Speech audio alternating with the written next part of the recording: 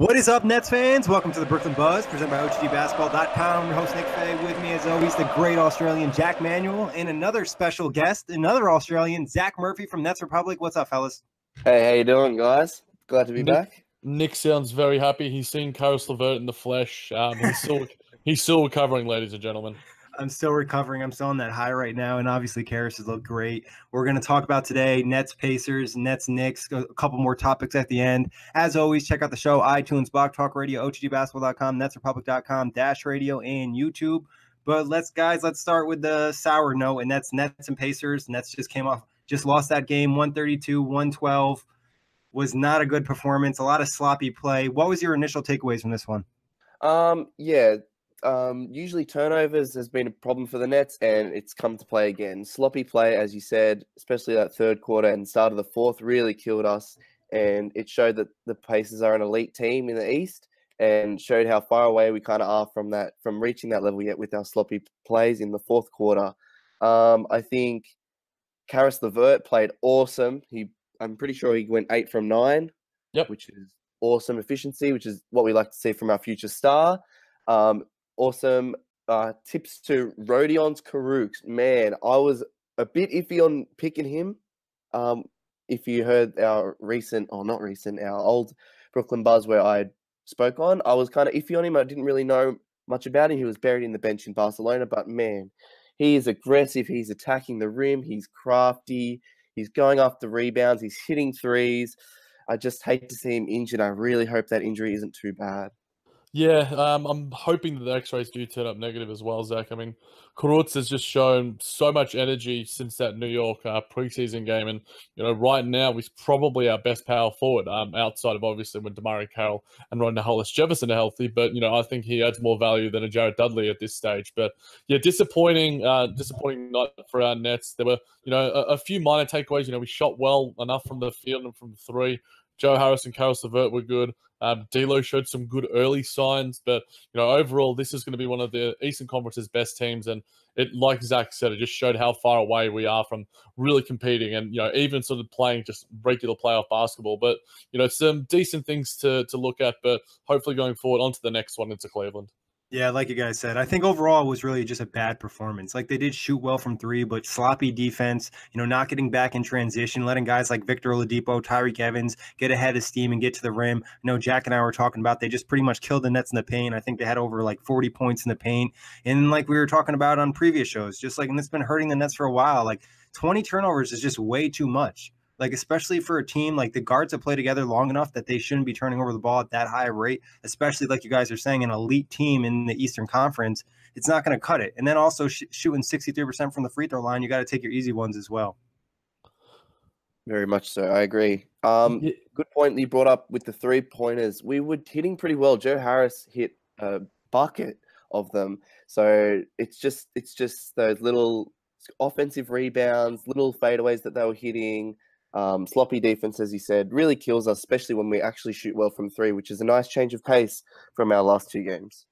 Yeah, I think offensively we looked fine in today's game. Like I was actually quite happy with it. It was just, you know, on the other end, like you mentioned, there, you know, we're not able to get back in transition. And for guys like Victor Oladipo and Tyreke Evans, two of the better guards in transition, you know, you've got to really get back. Um, and I mean, you know, we do have the personnel to sort of get that, but you know, with the injuries that we've had, it's it's a little bit troubling. But yeah, points in the paint, fifty-eight to forty. You know, they just blew us down there. You know, Kyle O'Quinn getting those offensive rebounds. Uh, Myles Turner doing his thing as well. You know, Ed Davis came in and provided some value uh, on a back-to-back. Jarrett Allen was a you know a little bit lackluster, but you know he's still, as uh, Jayson Tatum fans would say, only 20 years old. So we've still got plenty to, to look forward to with him. But yeah, uh, offense wasn't necessarily the key, but you know Indiana were just better there and just much much better defensively. And I think anytime see a team like Indiana or a talented offensive team, you got to try to take them out of the rhythm from the start. And they just started knocking down shots, and they're going to start to hit tough ones as well. What do you guys think was the key stretch of kind of you know hurting the Nets and causing them to lose this game? Late in the second quarter, where they kind of had those miscues, or was in that third quarter or early fourth when it kind of just all came apart? Um, I'd I'd say the end of the third, start of the fourth was really where it started to go downhill. We kind of pulled it back a little bit from the second. Um, I think that injury, that Rodion's injury, was kind of really the turning point. Everything Yeah. started to get sloppy and downhill from there. I'd say. Yeah, I mean, it saps the energy out of you. And a guy like Rodions has already proven that he is an instant sort of spark and, you know, in that sort of intangible energy that feeds the team. You know, when guys are making buckets like Caris LeVert, you know, that steal. Beyond that, you know, there weren't many highlights in the second half. It was one of, you know, it might not have been a call that got our way, as as Nick mentioned to me in the DMs, but there were plenty of calls that didn't go our way throughout the night. But you know, officials weren't, you know, on our side, but it, that wasn't the thing, the reason we lost the game.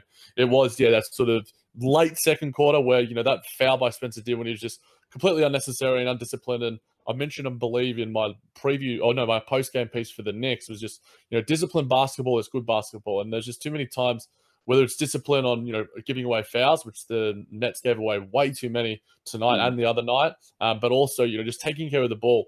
You know, I could probably count on my hand the amount of times we gave up the ball, whether it was D'Lo, Jarrett Allen. Uh, it's just you know, um, not necessarily uncharacteristic, but it's more the fact that you know you got to have more savvy than that and know that you know you can't you can do those things in the preseason, but when the games are on the line and the games mean something, you got to switch it on a little bit. But um, yeah, I think the engagement on both ends of the floor is something that hopefully we can get back against the Cavs.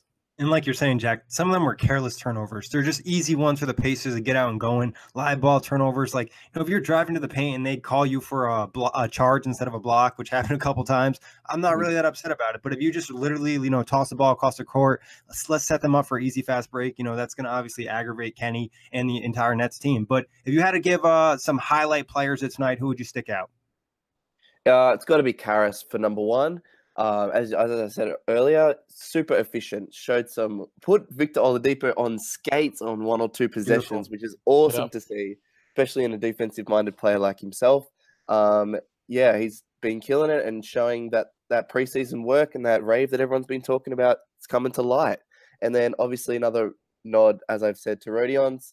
Played awesome, as I said already. Spark plug, hitting shots, hustling for offensive boards, threes really, really going to be tough for Kenny to find him some minutes if he comes back soon. Yeah, I'll go with Joey Buckets. You know, yeah. that's like Caris LeVert I was mentioning, you know, a, a, little bit when I was running the Nets Republic Twitter tonight. That Caris LeVert's shot from the perimeter looks slightly reformed. It's got a little more air on it, a little more arc on it. It's like a, a gorgeous rainbow that you see after a, a rainy and sunny day. It's it's a lot prettier, and that's one thing that you know I wasn't necessarily as confident in him in terms of one area um, so that was great from him. Um, also, Joe Harris is just making the right plays, and he was just awesome from the three point line, five or six after you know a, a substandard night for him uh, against the Knicks. Um, but we know what Joe Harris does. Even when he's not shooting the ball well, he does the intangibles well. Probably um, is exceeding his value. And you know, uh, I mentioned him as a makeshift starter, but you know, in the absence of Crabbe, he's proving himself as a, a ready-made starter in this league. Yeah, Harris had a really nice game, you know, knocking down a three, like you said. And then he had that one play in the second half where he kind of did the press by himself, forced that five second violation, which is really, yeah, it's something you definitely don't see a lot. So you always can appreciate the hustle from Harris. But like Zach was saying, Caris LeVert was great. We saw him, you know, put some moves on Oladipo, really get in his bag with some nice tricks out there. And also saw the Pacers throw a couple double teams at him. That's going to be something to keep an eye on. How Caris kind of reacts to that. Obviously, passing has been a key to his skill set kind of evolving. So he's going to have to kind of adjust to that. And his teammates are as well. And like you guys were saying, Rodions really impressive. you know, at this point, getting a second round pick, him doing that, really no complaints. Now, talking disappointments, what players out there really were you disappointed? with?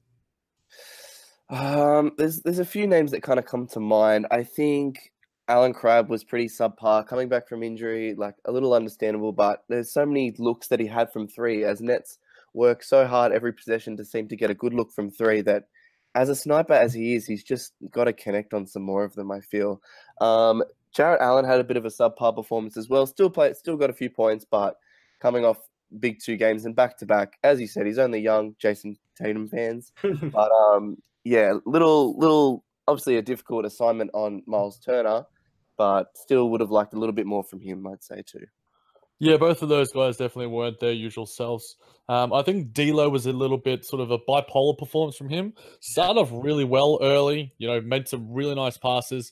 You know, he's one of the best bounce passes, you know, best bounce bounce passing guards. Say that three times uh, in the league, but you know, just he was his shot wasn't falling five or sixteen from the field. Did hit some nice shots from the uh, from the perimeter, uh, but it just wasn't his night necessarily. Where it was, you know, that fourth quarter, you know, he brought that fourth quarter sort of energy that he did against the Knicks, the Knicks into the first quarter, you know, and second quarter to a lesser extent. But you know, when the Nets were wavering, you know, D'Lo was wavering as well. But um, it's going to be interesting to see how he plays going forward. But you know, it wasn't the best night from him, but it certainly wasn't a, a, horrific night by any standards. Yeah, at least he threw in some rebounds and some assists in there. But like you said, Jack, shooting wise, definitely not on par. You like to see him get in rhythm, maybe get some easy shots. I think, like uh, Zach was mentioning, Jarrett Allen, not his best performance. You know, only three rebounds, four turnovers, and he just kind of looked a little bit tired, like you were saying, Jack. And I think other than that, you know, Allen Crabbe, the injury I think is really affecting him. Nobody else was super terrible. I mean, Jared Dudley he didn't put up great numbers, but we're really not expecting a ton from either. Yeah, I think Spencer Dinwiddie to a lesser extent as well. He was our worst in plus minus at minus 24, but that was probably during the time when, you know, the stretches of play when we would go down. And a lot of that wasn't his fault necessarily. But, you know, that dinky little foul on that didn't need to be given away.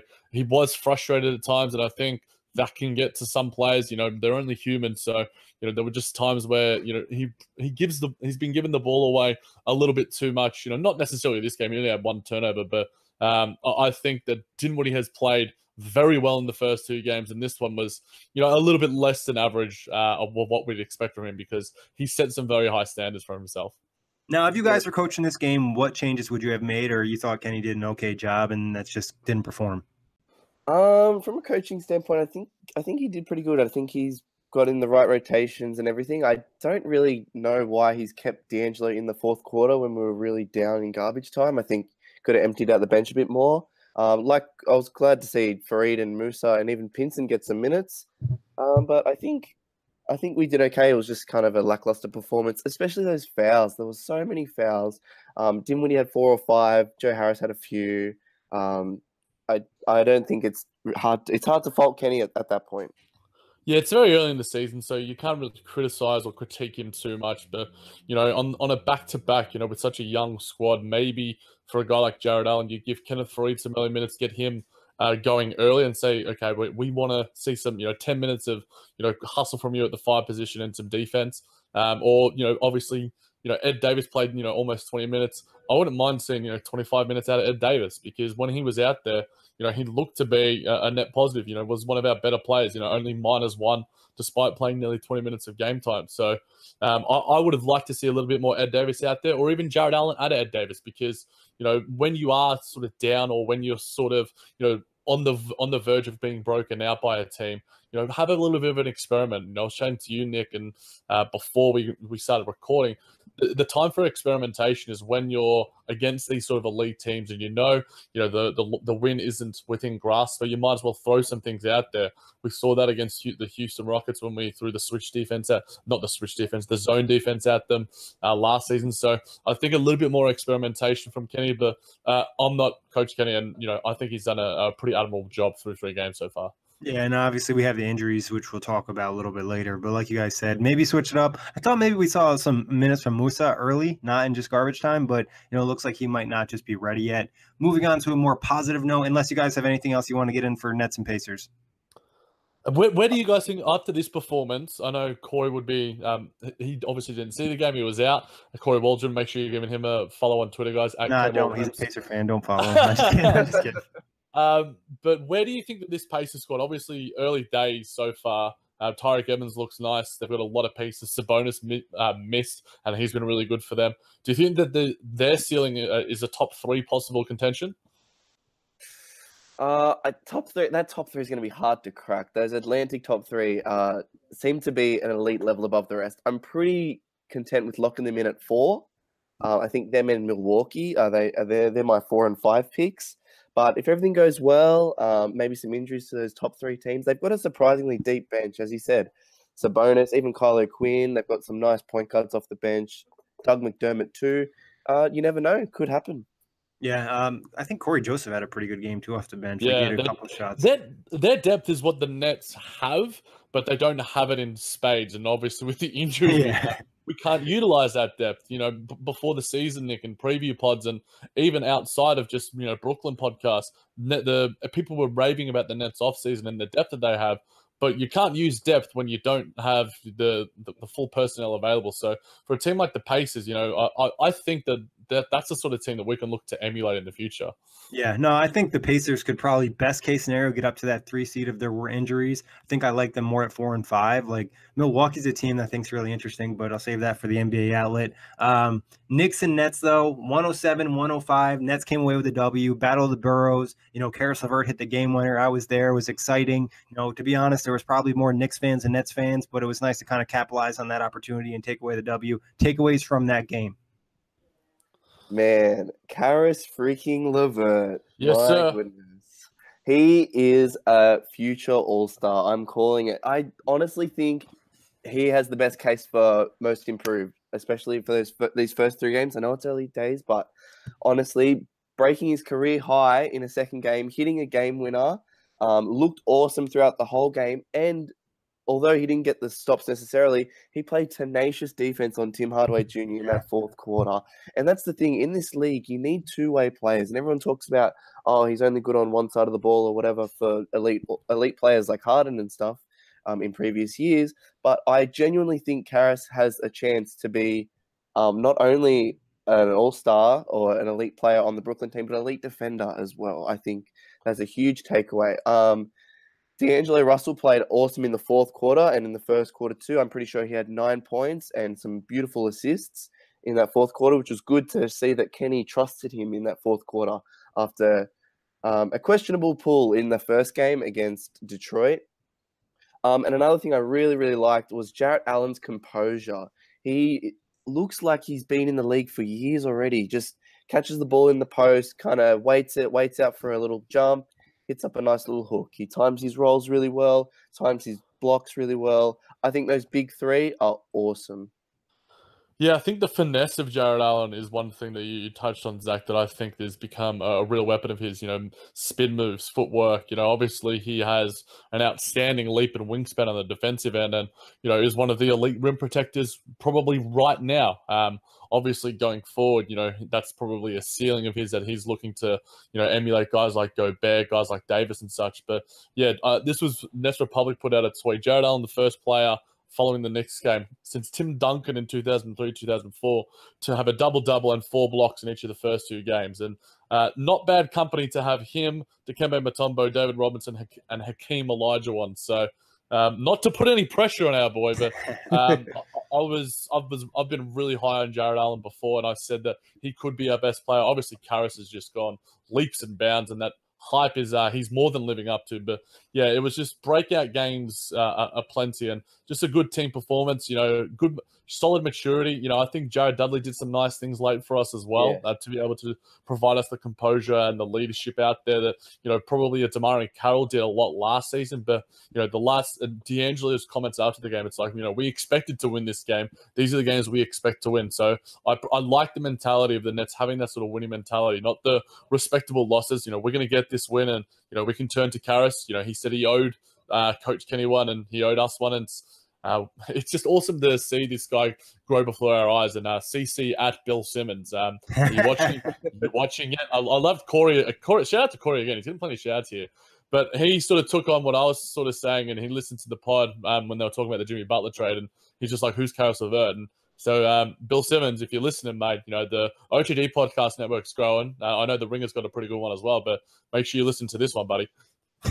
yeah, and then Jack, you and I have been high in Caris LeVert for a while. Obviously, Jarrett Allen too. Both guys had great games, like you said, and it's nice to see from both of them the work they put in the offseason. You guys mentioned the footwork of Jarrett Allen. You know, Caris LeVert working on the balance and the strength, and just that mental aspect of the game. It's like he's playing mind games a little bit with the defenders, especially the bigs, with those long strides and whatnot. And like you said, Zach, nice to see D'Lo heat up in that fourth quarter and really step up. Then when he had some bad moments in that game, but he also had some really good moments where he can just mm-hmm. get to the rim so easily, and that's something I think the Nets really could use from him. And also Ed Davis, he just seems like a guy that every game is putting out a consistent performance. But on the negative side, takeaways from the next game, even though they did win by two, obviously a ton of turnovers. What else didn't you like?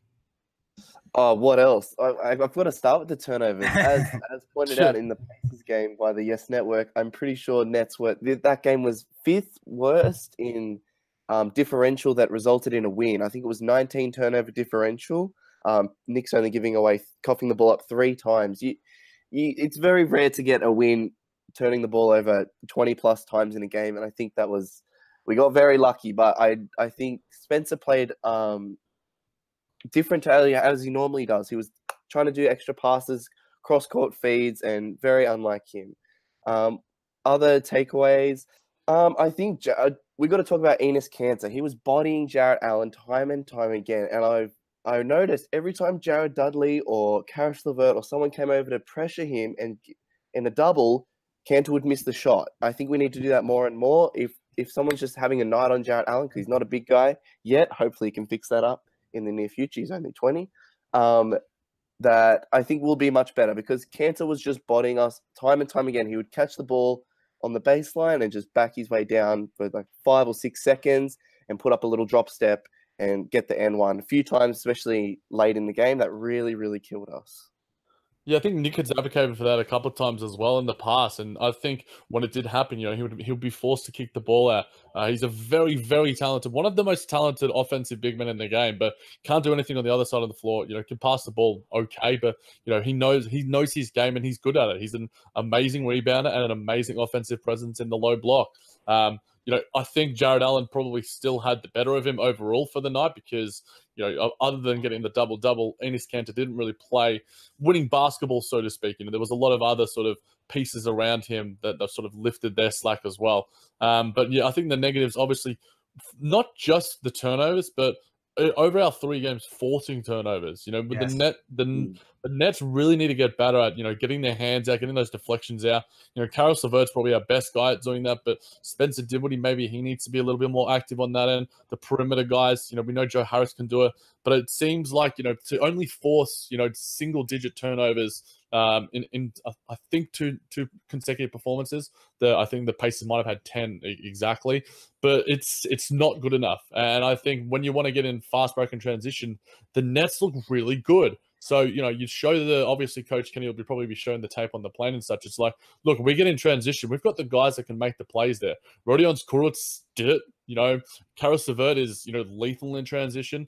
D'Lo has, has has good control in transition as well. And, you know, I think it's just about being able to make those plays defensively, you know, but at the same time, you know, it sort of relates to the fouls that we're giving away. You know, a, a, lot of the times we're giving away these really dinky little fouls, getting guys into foul trouble, and it sort of stops. A lot of off-ball fouls. Yeah, and it stops the rhythm on both sides of the floor. I think. You know, once you take sub a guy in, you know, you got it's it's chemistry. You know, chemistry on the floor is everything when it comes to basketball. So uh, I think that both of those have a, a, a, real correlation. But hopefully, you know, against a, a team that's probably around our mark in the Cleveland Cavaliers, they'll be looking to get a win as well. Um, hopefully, we can see more of that. And uh, it's still early days going into game four. And we know that the Nets have generally, at least in Kenny's tenure, started the season off a little slowly, getting things right. Injuries are plenty. So hopefully we see some of the things that we want our guys to work on, um, working on it um, when the game uh, comes upon us. Yeah, and Jack, you did a great point right there. You know, the fact is they're getting these stupid little fouls early off ball. Now they're not able to play as tight a defense and really use their body and kind of take a risk here and there. And against a team like you guys are saying, like the Knicks, it's a, I think the youngest team in the NBA. They don't have a ton of talented ball handlers. You know, Trey Burke is probably the best ball handler they have right now in the squad. You know, you're just forcing them to 10 or 12 turnovers minimum you know, like it's just they just don't have the talent out there. And I think that says a lot about the Nets and just not being aggressive enough defensively, which we've talked about this year, last year. And like you guys were saying, I think some doubles to Enes Kanter would have made sense, especially like I said, supporting cast in New York is not great. But uh highlight player of the game, I think this is going to be an easy one, but who you guys got? Do I really have to say it? Do I have to say it? Like, I don't know. I, I just I, I'm repeating myself so often. He's just he's just shown so much potential, and all this off-season grind is just it's it's coming to life. And I was a little bit skeptical because usually people say, "Oh, it's just preseason hype," and people are just wrapping it up. But then every single person on that Nets team was saying, "Caris LeVert, Caris LeVert, Caris LeVert," and here it is in the flesh. Yeah, I mean, he's obviously putting his name out there for things like sponsorships and such. I'm sure you know get get your pot lay out there for him. Get get him a shoe. Get him. We'll sponsor you. We'll sponsor you, Caris.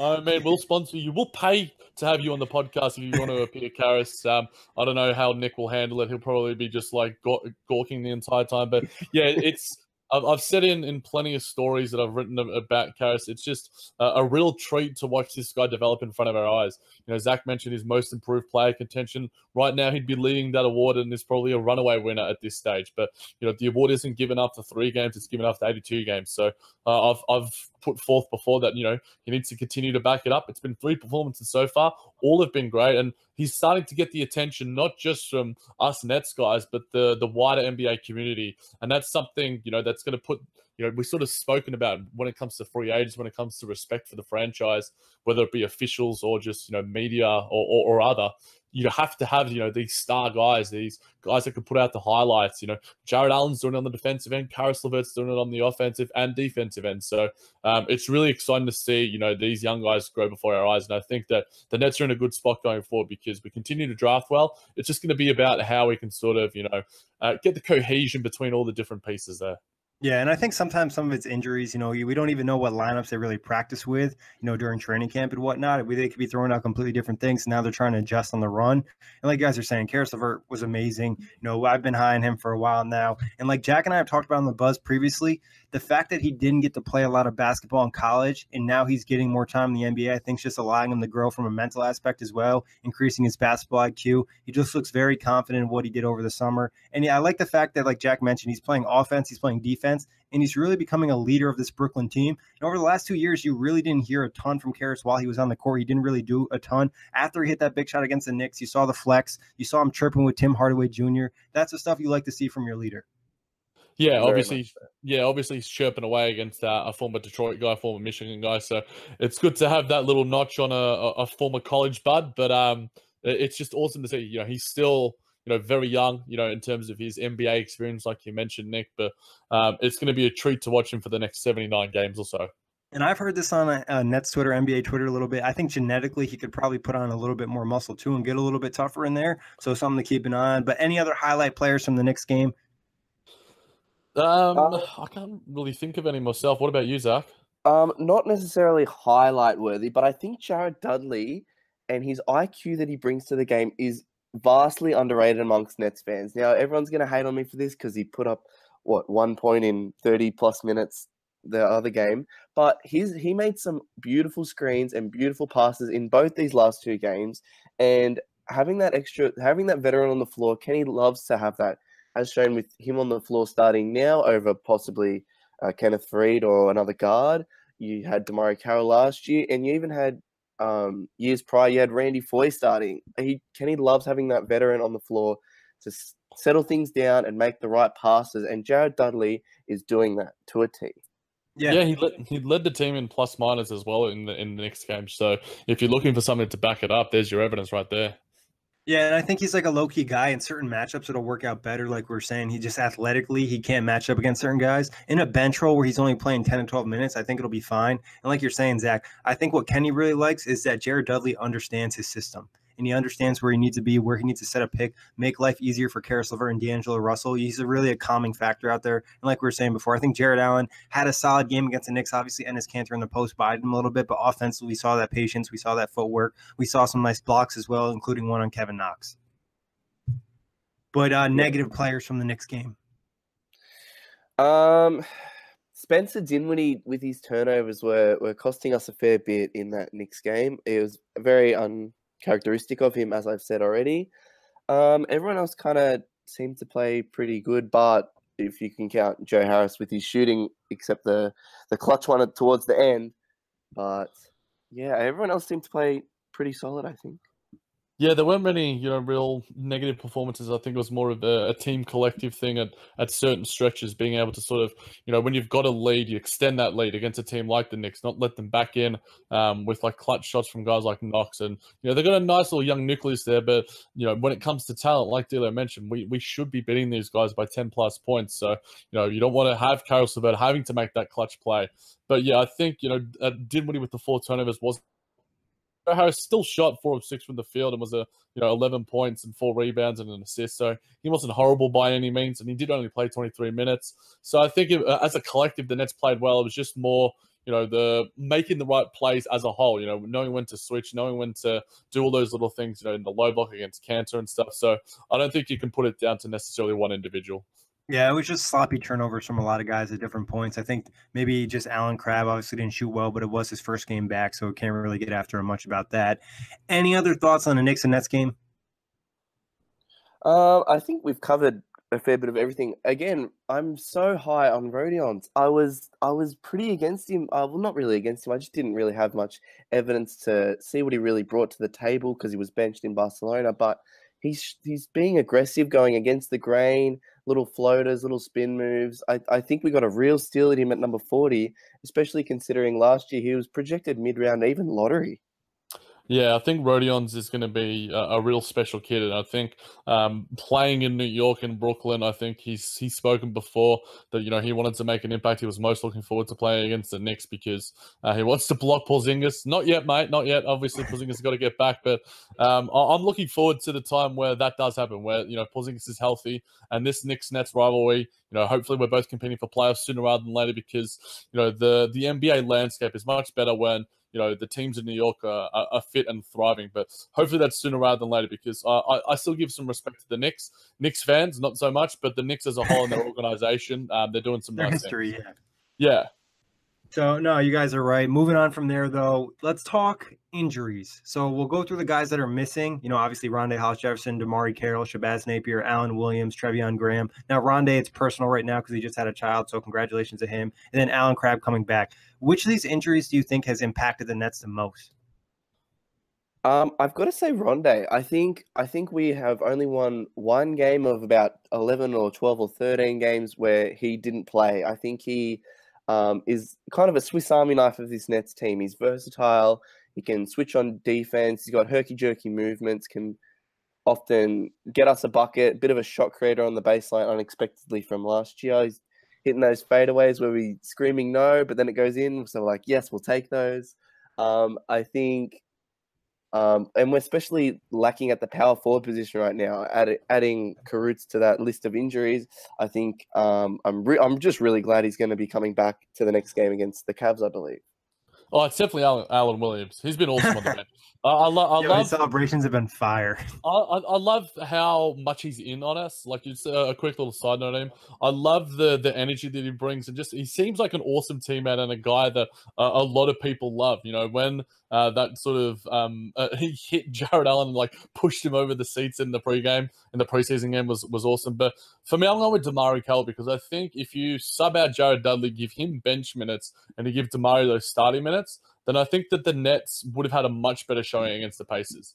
I think uh, with Detroit Ron Detroit as well, definitely. Um, I, I, think DeMarre does all a, a, lot of the things that sort of Zach was saying about Rondae in terms of defense and you know can make a play on either end of the floor. But DeMarre also has that perimeter presence, and and I think he has that leadership about him as well. And I think he's just so he was probably our most important player last year. You know, he wasn't our best player, but he's our most important player, our most consistent player. So, you know, we don't know when he's going to return from ankle surgery. The Nets like to keep things really close to their chest in terms of recovery times, which isn't necessarily a bad thing. It can be frustrating for fans and such. But for me, DeMarre has such an impact. And when you, you know, sub out a guy like Dudley, who, you know, DeMarre still has a little bit of hop about him. Hopefully this ankle surgery doesn't necessarily change things for him, but I think he has a little more juice left him to steal something from you, Nick, than say Jared Dudley does right now in his uh, part of his career. Yeah, and I like the skill set DeMarre has. I think he's had more of an ability than Jared Dudley to kind of drive to the rim and kind of makes teams a little bit more nervous. And his three point shot is probably a, a, little bit more active, where Jared Dudley has you know a higher percentage, but he really doesn't shoot a ton of threes. Like you're saying, Zach with Rondae being out, I think they just missed some of that energy, some of that juice. I can't wait to see them all back. And then even just a touch on Allen Crabbe, I think he's come to kind of hindered by the injury. I was talking to Jack about a little bit. Hopefully, he can find his rhythm sooner rather than later. We saw last season it took him a while to kind of get back. And I know Kenny's pretty upset that Treveon Graham is out because he was very high in his defense that he brought. Yeah, there was often um, stretches of, of the game where Treveon Graham was playing in clutch minutes, which was pretty unexpected considering some even viewed him as like the 15th man on the roster. Um, I'd like to touch a little bit on Shabazz Napier as well. I think he can bring a lot to this Brooklyn team. He can play off ball as well as on ball. He gives the Nets um, something unique in a shorter guard, very anti Kenny, but um, being able to be that scalpel through the defense, slash through, um, also being able to be a spot up shooter, only adding to our lists of Harris and Crabbe and whatnot, which is awesome. I'm pretty sure he shot 40% plus from catch and shoot threes last year. I think a little bit of that firepower would have um, been helpful in the games where we've been suffering from the three point percentages. Yeah, I think with Treveon Graham as well, Nick. Obviously, um, chatting to a little bit with, with, you at the game, didn't exactly see what happened. Obviously, the strained hamstring, so it's nothing. It's not a tear. It's not. It's it's just a strain. So obviously, when you're flying as well, that can certainly aggravate the injuries. It can inflame it a little bit. So um, it'll be interesting to see his status going into the Cleveland game. I'd much rather just rest him. But for me right now, you know, our four position has always been a weakness.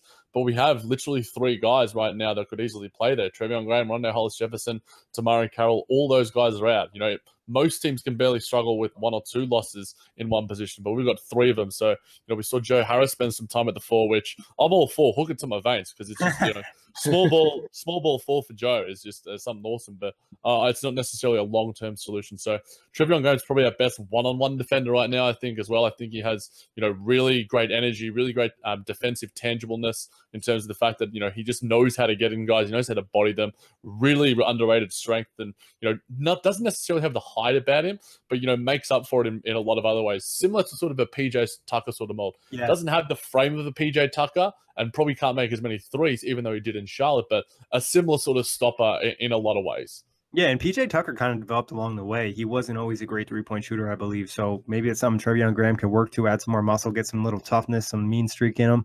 But guys, we're gonna play a little bit of stock up, stock down. Go All for right. it. Going right down the list, Joe Harris. Um, can I say in the middle be, if I have to? No, be careful here, Zach. You got, you got, to go up or down. All right, all right. Purely because who I'm with, I'm going to go up. I, yeah, well, you were already safe, Zach. You've been really talking up my guy, Caris LeVert, so I was almost guaranteeing you on another episode. no, I think I think he's been good. I think he redeemed himself from uh, one or two nights three shot, one or two from seven from three. Um, but it's it's all about those other things that he brings to the table as well. That slashing, those rebounds, even those passing. He's, he's he's got some nice assists, and I'm glad that he's more than just a shooter as most people have viewed him as. Jack, yeah, do I, I have to ask you this? no, but obviously not. But I think if you want to talk about, for me, the main thing about Joe Harris is his floor is, you know, so high compared to a lot of our other Nets guys. You know, a lot of them will get sort of, you know, their their bad is is you know really bad. Where Joe Harris is bad, he's still doing like all the little things like Zach was mentioning. So I think a lot of our guys can learn from Joe Harris. When he's not having, you know, a lights out shooting night, you know, he can still make the right plays. He can still play a little bit of good one on one defense. So, you know, Joe Harris is always going to have, you know, plenty of love in my heart. Jared Dudley. Um I have to go down reluctantly. I, I do like what he brings to the table, and I had pretty high hopes for him. I did write a piece on him on Nets Republic. Check that out. Um, but I think that it's just that one point night just really just dampened a lot of things for him. But I do, as I said, really, really, really like what he brings to the court, brings on the court in terms of his passing and his IQ.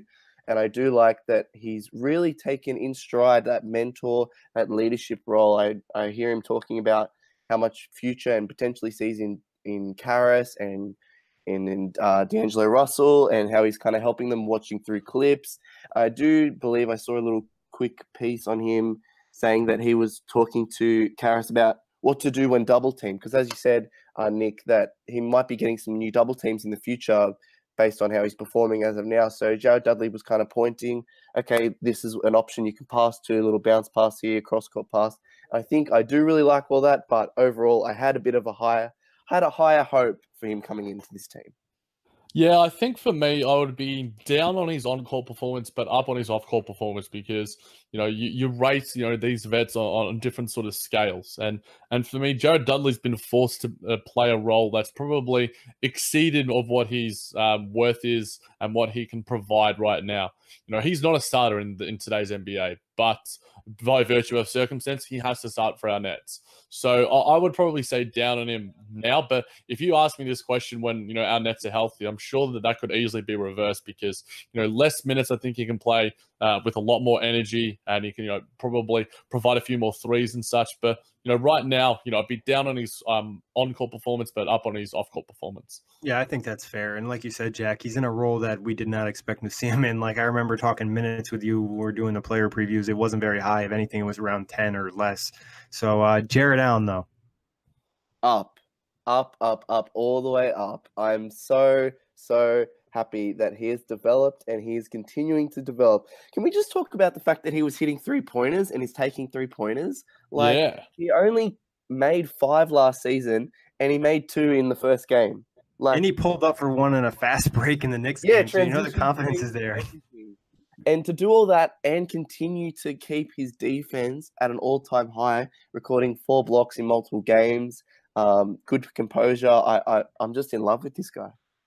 Yeah, I think I'm as high as Jarrett Allen as as high as he gets up when he's trying to block a Blake Griffin dunk. Um, he's just so awesome in so many ways. Um, you know, if you want to get down on him for for one subpar performance against Indiana, then I think that's a bit rash. But fans can be a little bit rash sometimes when it comes to to their players and, and the love that they show. But you know, there's just so many different things and so much growth he's shown uh, from just coming into the league to now, and that he's you know um, his ceiling is as high as he can jump. Um, it's it's going to be insane to see him develop as it is with Caris. Um, it's just uh, a pleasure to watch him grow before our eyes. Yeah, and he's just so raw, and there's so much potential there. He's definitely a guy we're very high, and I think Caris we don't have to talk about. It's all stock up from everyone here.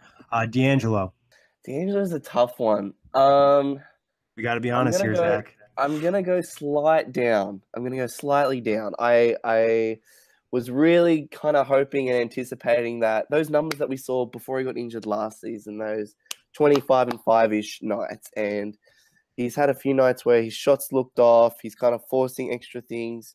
Seems like he's kind of being talked into a role he's not really wanting to like he's passing not too much, but he's kind of looking for it a bit much where he could have been shooting and then he's taking contested shots, which Kenny doesn't like, but he likes. But As I said, it's only early. But I do like his on ball defending. I think that's an up for sure. He's been forcing steals and running the break with Caris um, in a few games, poking them free. I think that's a huge plus, and I do think his pick and roll game with Jarrett Allen is improving, and I do like that style of basketball that those two seem to play. Get a nice composed look at the basket, but slight down from now. I had pretty pretty high expectations for him coming into the season.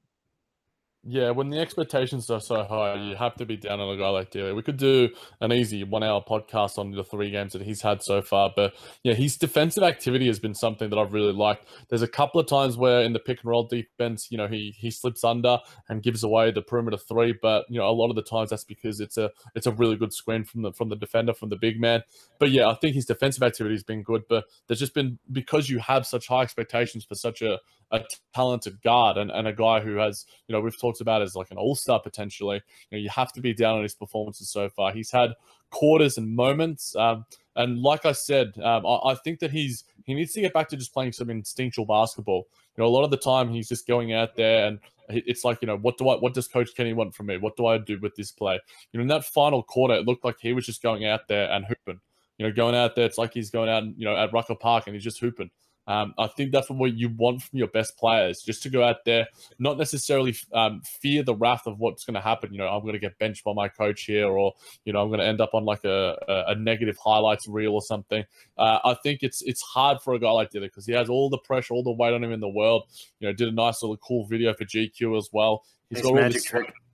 I mean, it, it was pretty sweet. Um, I'm not going to lie, but um, there's just so much potential within him, and it's three games, and it's easy to overact to react to overreact to him. We aren't going to do that at the buzz, but you know, going forward, we need to see more out of him because he set expectations for himself and the team much higher, so he needs to start to reach them. Yeah, I think it's fair to say we were disappointed by the start. You know, it's not ideal. Like you guys said, defensively, he showed some good things. Obviously, getting under those three pointers, you know, on the, the picks really honestly hurts my soul because it's happened a lot. But, uh, you know, the assists and the rebounds have been okay. Just shooting numbers need to pick up. Do you guys think comfortable, you know, he's not really comfortable because he's not comfortable with his teammates, the system, the coach, or just like, you know, the pressure? Uh, I'd like to say it's a bit of a mix. I think pressure is a big thing, especially coming into this year. It's a contract year for him, um, but also the fact that his minutes have been pulled. There, there is that expectation of Kenny for him to play well, and especially when you can you can argue that Dinwiddie is the third or fourth best player on this team. So Dinwiddie and himself and Caris all fighting for that ball handler spot, um, predominant ball handler spot, puts a bit of pressure on him as a player and. Um, obviously, expectations as the number two pick and everything from LA. Um, I think I think that plays on him a little bit. And as you said, he and as I said as well, he's overthinking. I think a bit too much. I think he needs to just go out and just hoop and be who he is, um, and the rest the rest of the game will come. I think. Yeah, I think obviously it's definitely a combination of things, but as well, I don't mind the lineups where it's Caris, Spencer, and D'Lo. We've seen some success with it. I'd be intrigued to sort of look deeper into the numbers and, and see what it sort of shows because you know when you have three ball handlers, guys who can all make plays in different ways. You know, D'Angelo Russell has shown his floater game is absolutely gorgeous. His three point shot is you know consistent enough so to speak. But you know, probably Spencer and Caris um, are probably better than him at that. But he's beginning to the rim a little bit more uh, tonight. That's what I would have liked to him to do a little bit more, not settle for that floater and just you know draw the foul a little bit, see the ball go through the basket. So yeah, I, I think it's about sort of finding the the chemistry and the cohesion with his teammates as well. Um, I, I, think it's hard when you've got that sort of burden upon you uh, a, a, lot of the time. And there's going to be plenty of guys on Twitter and everywhere and all other platforms that are going to be hard on him. But if he's doing the right things that the coaches want from him and the teammates want from him, then the contracts and everything will take care of itself because uh, Caris has shown some awesome things and it's almost taking the limelight away from D'Lo to an extent. And hopefully that means, you know, we can see some big D'Lo nights and go, oh, wow, we've still got these two awesome young guards that we can build around and to a lesser extent, Spencer Dinwiddie, who we could probably have on a nice little midway contract, Josh Richardson style contract. Um, it's a luxury to have right now, I guess. Yeah, I think when you're in this stage, it's not as big a deal. It's kind of something you keep an eye on and see where he's going to go from here. But guys, going through the last few just quickly, no reasoning or anything, just up or down. Spencer Dinwiddie. Uh, this is really tough. I'm going to go up. Yeah, I'm going up as well. I'm going up. I didn't answer for the other ones, but I think Spencer was a guy that was in so much trade rumors. It kind of made you think like, oh, he shouldn't be in Brooklyn, but I think they kind of need him. Treveon Graham. Up. Up. Ed Davis. Up skyrocketing up. Yes, I love it, Jack. Allen Crabbe. Down. Down like a clown. Rodion Kurucs. Up. up as much as he loves to get up and just that dunk tonight. It was almost there, but uh, too bad with the block. But up yeah. on uh, Rodion Kurucs. Yeah. Oh, look at that pronunciation, Jack. Yes, sir. Yes, and sir. Last final thoughts, guys. Kenny Atkinson. Um, I'm gonna go up on Kenny Atkinson if we're doing up oh, and down still. yeah, um, I mean, if we have to be up and down, I'm going up. Um, but yeah, on the Nets going forward, it's three out of 82 guys. Let's you know temper expectations in terms of all the different things around the team, in terms of playoffs and around individuals. Um, there are going to be up and downs. It's a roller coaster ride. It's a marathon, not a sprint. But um, hopefully we can you know get back to 500 with the win against the Cavs, and uh, we'll be doing it all here, covering it all for you at the Buzz.